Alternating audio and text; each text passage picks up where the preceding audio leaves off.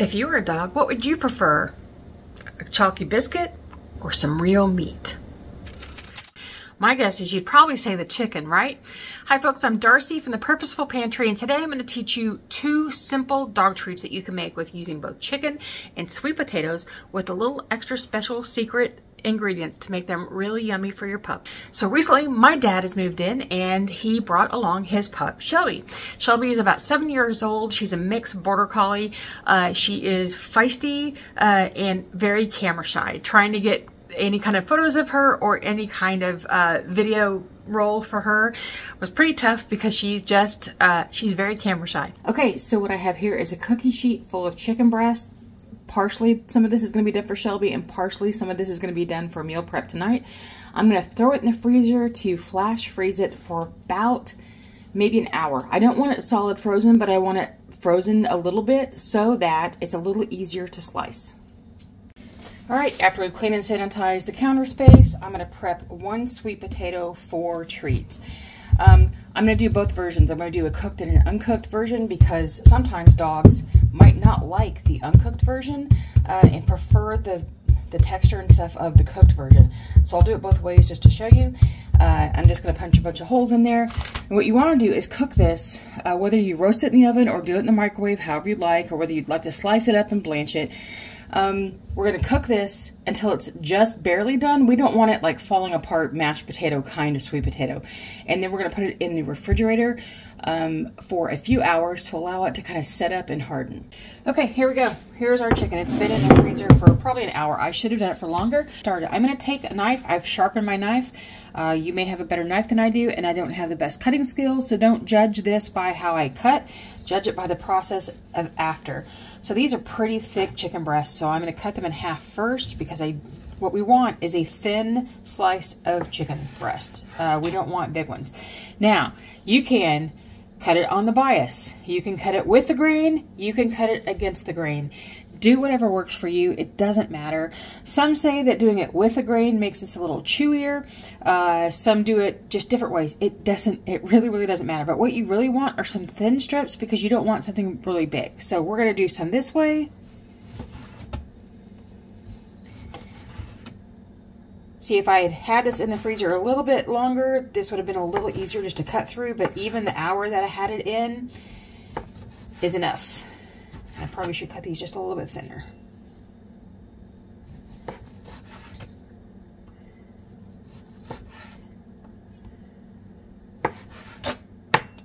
Okay.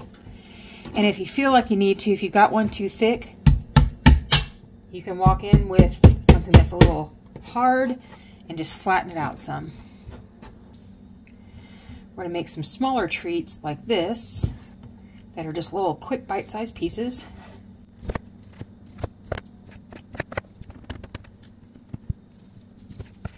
And I just want to add this.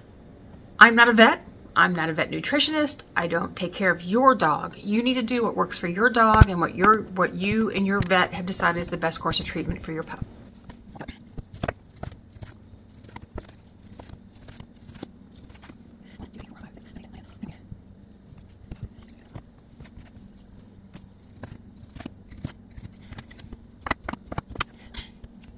Okay, that's good enough. Um, now, something that you can do with this is you can treat this with a little turmeric and pepper to help for those dogs who may have uh, inflammation issues. Shelby does. She was hit by a UPS truck um, about a year ago, and uh, it's you know Shelby was a, a, tire chaser, and the, and the UPS guy didn't see her, and so um, so she had some trouble with that leg even after healing and stuff, and so putting a little turmeric on here will help that. But if you add pepper to the turmeric as well, it's what makes it a full, uh, usable um, aid for her. Using turmeric on its own is good, but to make it really fully absorbable by the, by the body, you need some pepper with it as well. I am sure there is a perfect ratio somewhere in the world, but we're not looking for this to be her nutrition. This is just an, a supplement, so I am not going to fuss over getting it completely perfect. My little tea strainer is good for more than just tea. Although for tea, it's great. Take this and just shake it over here. Keeps my fingers from getting too messy. I could also wear gloves. That would help. And before somebody worries about us letting Shelby out running on the streets, uh, she was actually at home with my dad at his house before he moved here, and it was out in the pasture in their front yard. So it was when uh, Shelby was out in the front yard, and the UPS guy came and uh, she was chasing the tires, and he thought she was clear, and she wasn't in. Uh, so it was nobody's fault. Now, should you use mesh over your, your stainless steel trays or your plastic trays, or should you use fruit leather sheets or whatever? You can use whatever you want. Know that if you're using turmeric on anything, that it's probably going to stain these, but I don't care. Stain sheets means that you have a happy, full pantry. You can go ahead and put them on the metal racks. The thing that I find is that these things, because they have these little grooves in them, they tend to make things stick more, especially those things that kind of mold into them. So I'm going to go ahead and dedicate two of my large dehydrator sheets to doing this for her. Now, the really cool thing about doing these for dogs is that you do not have to cook the chicken ahead of time. When you're doing jerky, chicken jerky for humans, the safest method is to cook the chicken first, then do the dehydrating. Uh, because humans can't handle uh, the bacteria that comes with uh, raw chicken. The way dogs can, these might be just a little thick. Let's see if I can spread this out a little bit my fork. So you do not have to do anything to these extra other than put them on your trays and dehydrate them. I do dehydrate at 160 just to be all on the safe side because I'm handling these as well. Um, so I want there to be no chance of uh, spread to me with um, chicken that's not fully fully dried at a, at a proper temperature. So, uh, but they don't have to be cooked ahead of time the way that you would do human jerky. Human jerky no, we're not doing Soylent Green here.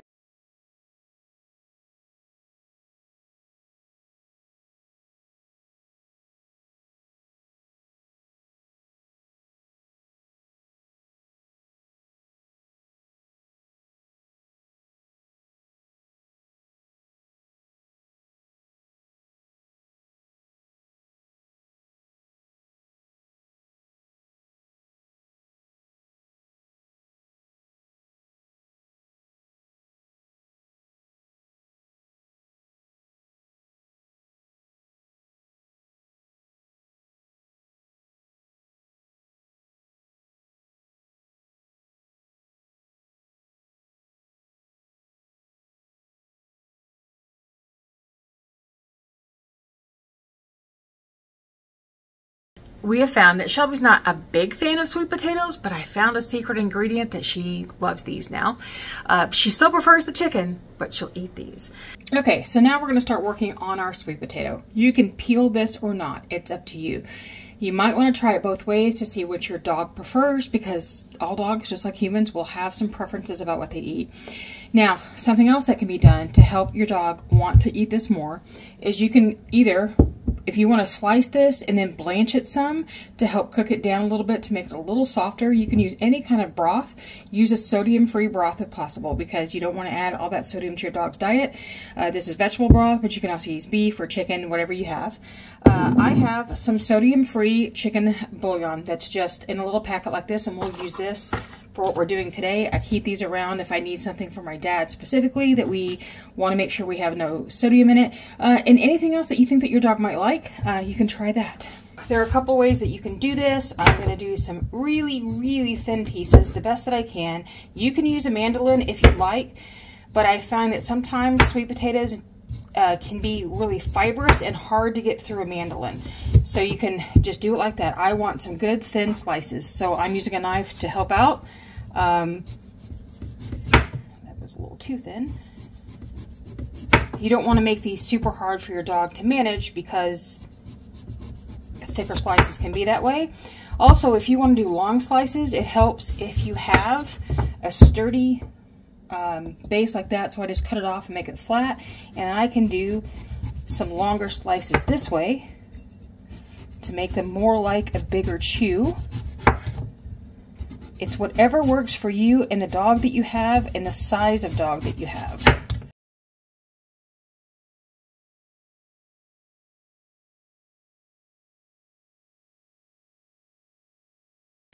Okay, this may have gone a little too much.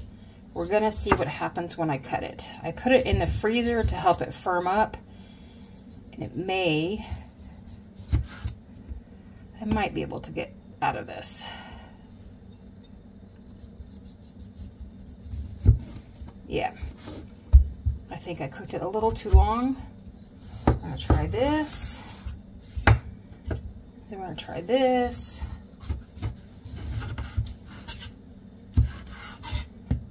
I think I could have redeemed this by having it in the freezer quite a bit longer. Um, but we are on a time crunch today with some things happening, so I wanted to make sure I got everything done in time so it could sit in the dehydrator. All right, so what I'm gonna do is I'm gonna cut some strips like this just to see if these are good bite-sized pieces for her. Now, again, play with your food. I can't encourage that enough when you're dehydrating to figure out what works best for you and your family, um, what they prefer.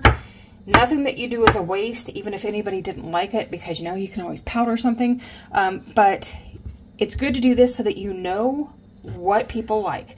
And even if it doesn't work out, um, a mistake is a mistake that you learn from. It is not something, it's not waste because the more you learn to do it in your process, uh, the more you'll be able to do it better in the future. I have lots of mistakes that happen. This is going to be one of them where this was just not quite ready. I mean, it was just a little too overdone and I should have left it in the freezer a little bit longer. But we're okay with that. We'll make it work.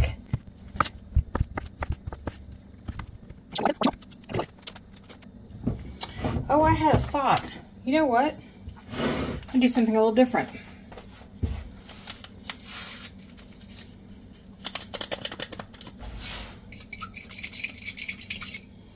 Okay, what I did was I took one of those packets and just put a little bit of water in a bowl. So this is uh, a sodium-free chicken broth that is going to be much denser than you would normally use if you're cooking. It's going to be enough that I can do this, just dunk my sweet potatoes into, instead of just trying to sprinkle on the top. That way it's not quite so concentrated, but it will still have chicken flavor that might attract Shelby more than the plain ones.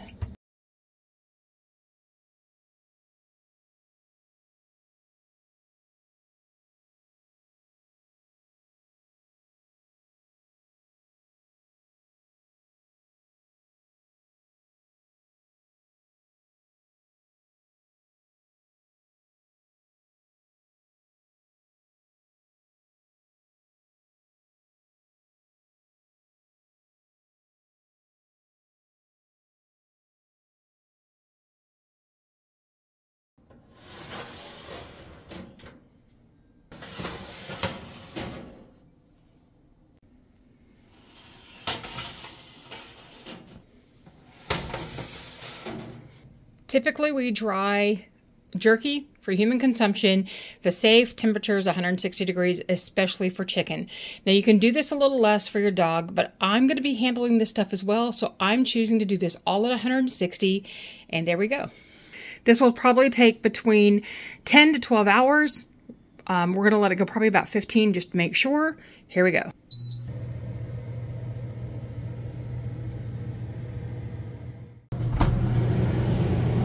Here we go. Here are our sweet potato treats that were cooked first and then dried. Our sweet potatoes that were just dried after being dipped in some chicken, some concentrated chicken broth. And then here are our chicken treats. Okay, how do you test? After you give them a little time to cool off they should snap. They should be completely dry. There should be no bending. There should be nothing that makes it look like they might not be dry. These are not going to be like the chewy treats that you get at the dog store that has, or the pet store, sorry, that has a lot of preservatives to keep it soft and all that kind of stuff. So what do we do to store these? I get my little stasher bags and I put quite a few into a stasher bag for the refrigerator that we do for about two weeks. They'll last that long easily. Um, and if we're going to give her a treat, we can pull it out and let it uh, warm up a little bit before we give it to her. Then the rest of these go into our stash bag for the freezer because chicken is not reliably shelf stable for more than a couple of weeks because it's not cured and you don't want cured meat for your dog. So what we do is we keep a set in the refrigerator and then we keep this set in the freezer that we can pull from and replenish our fridge section uh, and then have stuff out on the counter to let it warm up a little bit before we give her a treat. We just do that and it will last us all month long. Now this can last in your freezer for about six months. And as far as the sweet potatoes go, because they were dipped into a concentrated chicken solution, I also would not necessarily keep these on the shelf for long term because uh, that could make it not reliably shelf stable as well. So we're just gonna store all this in our refrigerator for, you know, it's we do this monthly. So uh, I don't know how long it might last in your refrigerator under your circumstances. Now, let's see what Shelby prefers. Shelby, come here. Shelby, sit. Shelby, come here. No. Shelby, sit. Good girl. You ready? You ready? Yeah. You like that, don't you? So if you want to see another treat you can make with your dehydrator, check out this video right here. And until I see you again next time, keep preserving.